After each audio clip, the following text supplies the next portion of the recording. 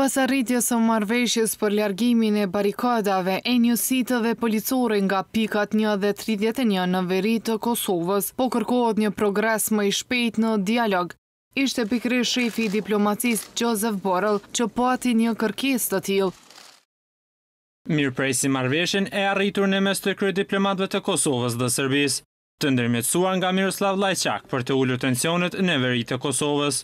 Të dyja, Kosova dhe Serbia, duhet tash të angazhohen me konstruktivitet në dialog që të bëjnë progres të shpejtë në normalizimin e marrëdhënieve. E ata që përcjellin dialogun me vite vlerësojnë se përveç targave duhet menjëherë të zhvillohet dialog edhe për çështje të tjera të marrëveshjeve të zbatuara në mes të Kosovës e Serbisë. Drejtori i Grupit të Ballkanit për Politika Naim Rashiti thotë se Kosova duhet të ketë një qasje më proaktive në dialogun me Serbinë. Politika kosovare duhet ta ketë parasysh. Duhet të këndjellet pak, të kuptojë realitetin që nuk do të kërcënojë më NATO Serbinë.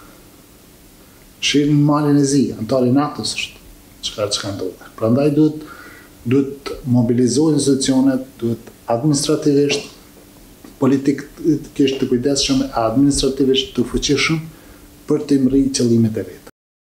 Sipas Rashitit do të duhej të punohej fuqishëm politikisht për kornizën e re finale të dialogut me Serbinë.